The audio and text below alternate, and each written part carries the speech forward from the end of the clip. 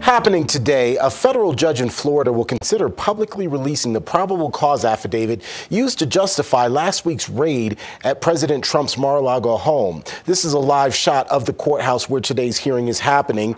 That hearing, by the way, in response to several media outlets and lawmakers petitioning the court to unseal the document in order to help better understand what motivated the unprecedented and historic search of the former president's home.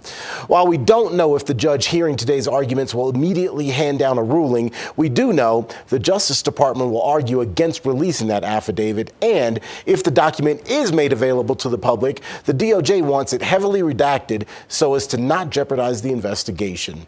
As you again see from this live shot of the courthouse, Real America's Voice is in place right now and ready for full coverage of today's probable cause hearing. Ahead at the top of the hour, Dr. Gina will join us for a live report.